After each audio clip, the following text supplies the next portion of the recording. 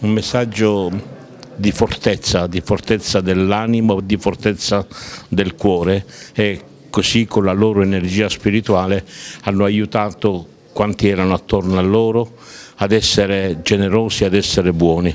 È la bontà e la carità che diventa diffusiva e promotrice di bene e questo è l'esempio che noi eh, vogliamo ricevere, soprattutto in un momento in cui rischiamo di lasciarci sopraffare dalla sofferenza, delle difficoltà. Queste due donne che sono state l'una e l'altra in modo diverso segnate dalla sofferenza, ci hanno mostrato come anche questa situazione dura, difficile, terribile può diventare motivo per donare del bene, per donarsi agli altri.